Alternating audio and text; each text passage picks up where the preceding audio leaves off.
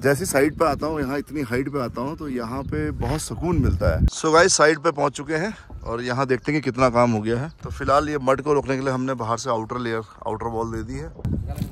ये देखो साबास साबास ज़ीरो में एक पुराना गैस सिलेंडर खरीद के उसका ही तंदूर बना दिया।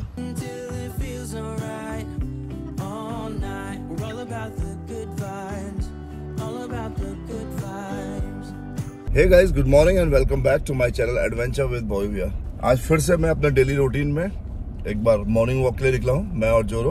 आज चलते हैं मॉर्निंग वॉक में, फिर देखते हैं कि हमारा क्या आज का रूटीन रहता है। बट वॉक के बाद मुझे तुरंत ही अपनी साइट पे जाना है। दो दिन से मैं गया नहीं और क्या प्रोग्रेस है वहाँ पे, वो देखनी है। सो गाइज़ वॉक करके आ गए हैं। अब चलते हैं सीधे भीमताल।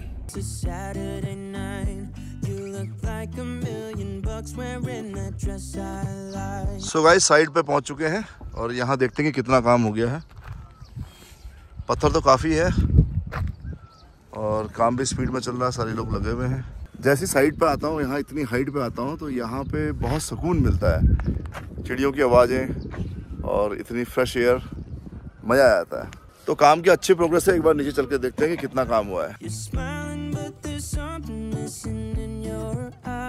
काफ़ी काम हो चुका है वॉलें काफ़ी खिंच चुकी हैं। देखिए कितनी बड़ी वॉल बहुत तेज़ी से काम चल रहा है और इतनी बड़ी बड़ी वॉल्स इन्होंने बना दी है। तो अभी तो ये काफ़ी और ऊपर जाएगी टेन फीट हाइट और जाएगी इसकी। ये दस बारह फुट की वॉल तो हो चुकी है। प्रमोद एक जना और देते हो काम के लिए। हाँ हाँ हाँ ये- रहे हैं हाँ ये हमारा काम करता है पूरा। इसकी दिहाड़ी दे देना इसे।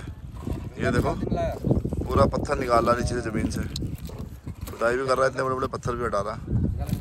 ये देखो साबास साबास ज़ीरो इस घर को बनाने में तेरी भी हेल्प बहुत लगेगी।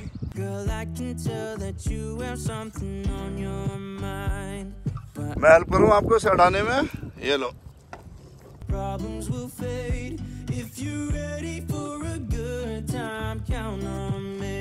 जो मेन बाहर की दीवार है ये पत्थर की बनती है क्योंकि तो पत्थर काफ़ी मज़बूत रहता है और इसको रोकने में काफ़ी हेल्प करता है। इसे पानी से भिगाना पड़ता है बार बार। जिससे सीमेंट अच्छी तरह पकड़ करे। तो वॉल जो है, तकरीबन 10-12 फीट की हाइट आ चुकी है इन वॉलों में। ये आउटर वॉल है। इस आउटर वॉल के बाद फिर अंदर कॉलम बनेंगे। वो घर के डिज़ाइन के हिसाब से कॉलम बनेंगे। कॉलम में पूरा खड़ा होगा। तो फ़िलहाल ये मड को रोकने के लिए हमने बाहर से आउटर लेयर आउटर वॉल दे दी है। और ये काफ़ी भी हाइट आएगी इसकी। फिर ऊपर लेवलिंग होगी। लेकिन काम बहुत बढ़िया काम चल रहा है। ये जो हमारी चौड़ाई है इसकी ये तकरीबन दो मीटर है। दो मीटर चौड़ा है। ये इस तरीके से वॉल तैयार होगी। अभी इसे काफ़ी हाइट में आना है इसके बाद भी लेकिन अभी ये जो मेनली तैयार हुई है वो इस तरीके से होगी.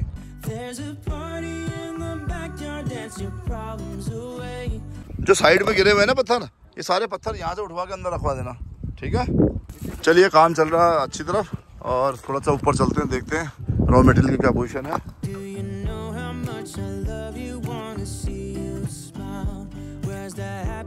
पत्थर तो अभी काफ़ी पड़ा है हमारे पास और सैंड भी काफ़ी है। तो गाइज़ साइड विज़िट कर ली है। अब निकलते हैं यहाँ से हल्द्वानी की ओर को। चलिए चलते हैं?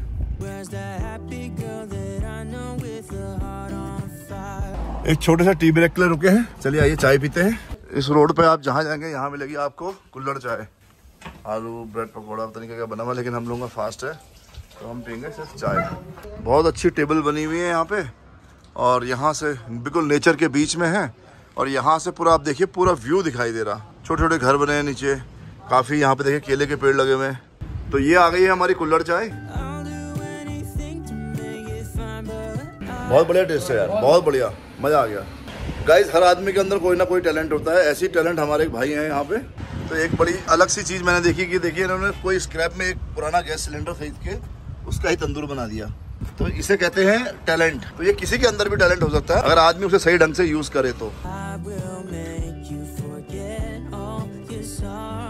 इसमें छोटा सा इन्होंने एक होल बनाया है जहाँ से एयर पास होती है और ये कोई पुराना स्क्रैप में गैस सिलेंडर लेके इन्होंने इसका तंदूर बना दिया है। तो हमारे देश में मल्टी टैलेंटेड लोगों की कमी नहीं है.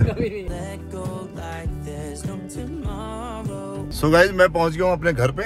चलिए थोड़ा सा नहाते धोते हैं उसके बाद निकलते हैं। सो गाइज़ हम आए हैं अपने बेसमेंट में जहाँ पे मेरे पास पड़ी है एक ट्रॉली इसको यूज़ करेंगे हम अपनी कैंपिंग में। चलिए मैं एक, बार आपको दिखाता हूँ. ये हमारे पास एक ट्रॉली पड़ी है जिसको हम अपने मोनिस्टर ट्रक के संग अटैच करेंगे। और फिर इस पर करेंगे हम कैंपिंग इसमें हमारा सारा कैंपिंग का सामान रहेगा। लेकिन उससे पहले हमें इसके थोड़ा सा टायर चेंज करने पड़ेंगे क्योंकि टायर काफ़ी पुराने हुए हैं। काफ़ी साल से ये ऐसी ही है। तो मेरे ख्याल से टायर तो वैसे तो हैं, लेकिन सूख गए होंगे टायर। ये काम करेंगे हम कल। मोनिस्टर ट्रक में थोड़ा सा कंजस्टेड हो रहा है, लेकिन इसमें सारा सामान रख लेंगे तो हमारे लिए ईजी जगह, हमारे कैंपिंग के सारी किट इसमें आ जाएगी चेयर्स इसमें आ जाएँगे, हमारे खाना बनाने के बर्तन इसमें आ जाएँगे। तो इसको हम कल रेडी कराएँगे। इसमें दो नए टायर डालने हैं हमने तो वो टायर्स हम कल डालते हैं। इधर भी काफ़ी अल्ट्रेशन चल रहा है मॉन्स्टर ट्रक में, क्योंकि इसे और एक्सट्रीम ऑफ़ के लिए मैं बना रहा हूँ। तो मैं दिखाता हूँ आपको कैसे मैं इसका काम कर रहा हूँ। मॉन्स्टर ट्रक के पीछे तो हम ट्रॉली अटैच कर देंगे। तो ये हमारे लिए ईजी हो जाएगा कैंपिंग के लिए। इधर मैं इसमें काफ़ी अल्ट्रेशन कर रहा हूँ। इसके दोनों डिफरेंशियल चेंज कर रहे हैं हम लोग। फ्रंट डिफरेंशियल भी और इसका रेयर डिफरेंशियल भी, कि इसकी जो है परफॉर्मेंस थोड़ा और बढ़िया हो जाए। वैसे तो परफेक्ट है बट और बेटर करना चाह रहा हूँ। थोड़ा मज़बूत करना चाह रहा हूँ। इधर विंच भी पड़ी है, एक एक्स्ट्रा विंच है। हो सकता है इस विंच को हम अपने कैरावेन पे लगाएँ। तो आज करते हैं अपनी गाड़ियों की मेंटेनेंस और चलते हैं सीधे अपने फार्म हाउस पे। वहाँ पे देखते हैं कि कैरावेन की क्या पोजीशन है। तो बस थोड़ी देर में पहुँचने वाले हैं फार्म हाउस चलते हैं और देखते हैं।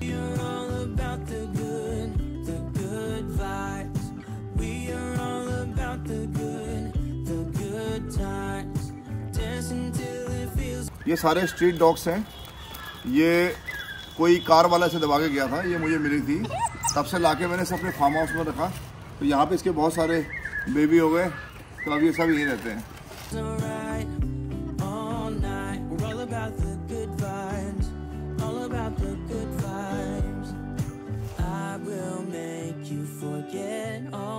गाइज़ यहाँ जब भी आता हूँ, जोरो इतना एक्साइटेड हो जाता है यहाँ आके क्योंकि उसे यहाँ अपने सारे दोस्त मिल जाते हैं खेलने के लिए। मैं एक बार आपको दिखाता हूँ.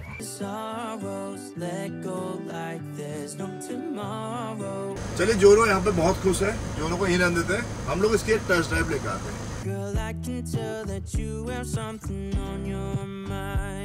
गाड़ी बहुत अच्छी चल रही है, बहुत परफेक्ट है। बट ये है ना, जब भी आप लंबे टूर पे निकले, एक बार अपने गाड़ी को ज़रूर चेक करें।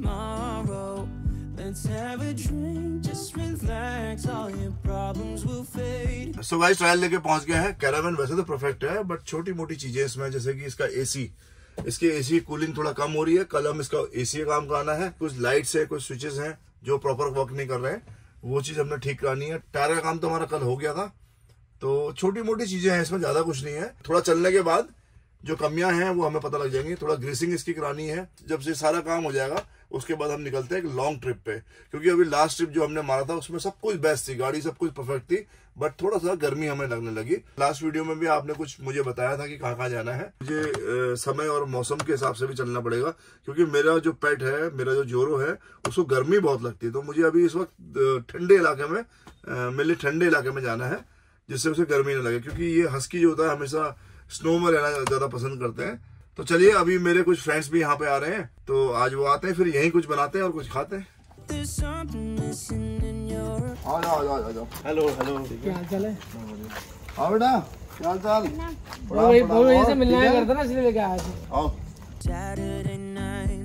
You look like a million bucks wearing that dress I like. अच्छा हमारे ब्लॉग्स देख रहे हो देख रहे हो? देख रहे हो अच्छे लग रहे हैं? और भैया कैराबिन की तैयारी कैसी चल रही है? यार कैराबिन का काम तो हो गया है। गियर बॉक्स का ऑयल और वो बचा हुआ है। बाकी जो हब ग्रीसिंग है वो सब कंप्लीट कर ली। ग्रीसिंग हो गई है। सिर्फ़ एक मेन काम जो वो एसी वाला हाँ है वो आप कह रहे थे। हाँ, वो कल मैंने उसको बुलाया है। ठीक ठीक कल वो आ जाएगा तो फिर एसी का काम भी कंप्लीट हो जाएगा। अच्छा यार चलो छोड़ो ये बताओ क्या खाओगे तुम लोग? हम बनाएँगे। आज मन्नू भैया को स्पेशल बनाइए आज क्या खाओगे नहीं वो बना देगा लड़का नहीं तो अपने हाथ से बनाएँगे क्या बनाओगे बताओ क्या स्पेशल है। आज आपको खिलाएँगे मलाई कद्दू। चलो वही वही करते हैं फिर यहाँ क्या करें? चलो। है ना? चलिए, चलो, चलिए, भाई हमारी चल रही है यहाँ पे खाने की तैयारी। यहाँ पे मन्नू भैया आए हैं। मन्नू भैया हमारे आज स्पेशल एक बना रहे हैं मलाई कद्दू। मैं तो फ़र्स्ट टाइम खाऊँगा क्योंकि मैंने पहले खाया नहीं है। अच्छा आलू की गुटके भी हमारे यहाँ पे बन रहे हैं। मलाई हाँ कद्दू और आलू की गुटके एक बार मन्नू भैया बड़ी स्पेशल खीर बनाते हैं लौकी की खीर। बहुत टेस्टी बनती है।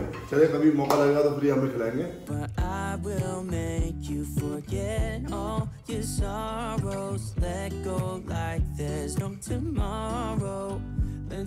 तो गाइस हमारा खाना बन चुका है और खाने में बनाया आज आलू के गुटके और ये बनी हुई है मलाई कद्दू। तो एक बार टेस्ट करते हैं। बहुत टेस्टी है। बहुत बढ़िया बना हुआ है. तो खाना पीना हो गया है और थोड़ा सा वॉक करते हैं बाहर और उसके बाद चलते हैं अपने अपने घर को। Program Okay. बढ़िया सा गुड नाइट चलो फिर ठीक है बेटा। Okay good night good night. तो गाइस खाना पीना हो गया है। फ्रेंड्स भी जा चुके हैं। तो शायद मुझे भी टाइम पे निकलना चाहिए। जोरो काफ़ी थका हुआ है इसे भी टाइमली घर पहुँचना चाहिए। ये रो रहे ये रो रहे। अब इन्हें जब तक बांधेंगे नहीं तब तक मैं जा नहीं पाऊँगा। बाय बाय बोल दो। बाय बोलो। बाय बोलो बाय करो। सो so गाइज़ हम लोग uh, काफ़ी लेट हो चुके हैं अब जोरो बड़ा खुश रहता है यहाँ पे आने के लिए क्योंकि जोरो को अच्छी कंपनी मिल जाती है चले मिलते हैं आपसे एक नेक्स्ट वीडियो में तब तक वीडियो को लाइक करें शेयर करें चैनल को सब्सक्राइब करें और देखते रहें adventure with boy so thanks for watching bye bye good night see you There's a party in the backyard, dance your problems away.